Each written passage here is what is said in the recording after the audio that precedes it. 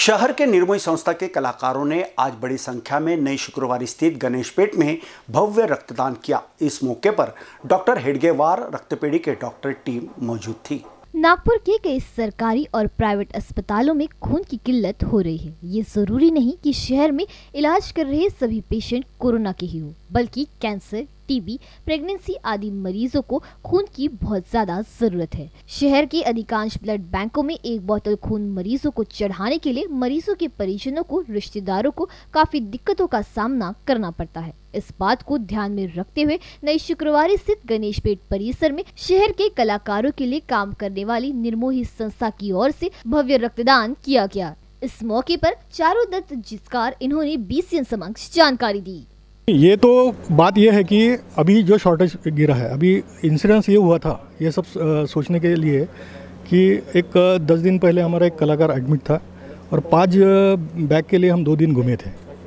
तो इसमें से ये संकल्पना हमने दिमाग में आई कि क्यों ना कलाकारों के लिए हम एक ऐसा ब्लड बैंक बना दिया बना दिया जाए कि कोई भी कलाकार को कभी भी भविष्य में ये ज़रूरत पड़े ब्लड की। तो ये पहला हमारा संकल्प है। ऐसा कुछ भी नहीं है कि ये सिर्फ़ कलाकारों के लिए है। ये जो ब्लड जा रहा है, वो तो सबके काम में आएगा। यानी ये ऐसा कुछ कुछ कलाकार के लिए। लेकिन एक हमारा, हमारे तरफ़ से पचास बैग, सौ बैग का हमने दिया तो भविष्य में हमको जब ज़रूरत पड़ेगी, तब किसी और ने भी डोनेट किया होगा। तो वो प्रायोरिटी से हम ये चाहेंगे कि हमारे कलाकारों के लिए, क्योंकि घूमना ना पड़े इधर उधर इसलिए हमने एक जगह एक ब्लड बैंक से बात किया, उन्होंने ये बात के लिए एग्री किया, और उसके लिए हमने किया। ये ऐसा कुछ नहीं है। मी डॉक्टर हेडगेवा रक्तपेढीचे जनसंपर्क अधिकारी मिस्टर किरण इंगळे बोलत आहे.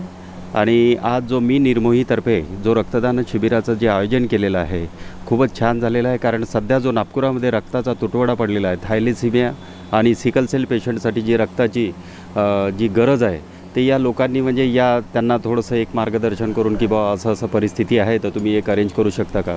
पण त्यांनी सांगितल्याप्रमाणे आज जो मी निर्मोहीतर्फे जो रक्तदान शिबिराचा प्रोग्राम खरंच कौतुक करण्यालायक आहे की इतक्या लॉकडाऊनमध्ये सुद्धा अशा कोरोनाच्या परिस्थितीमध्ये थायलेसिमिया आणि सिकल सेल पेशंटच्या मदतीसाठी ते धावून आले आणि खूप चांगलं करून राहिले ते.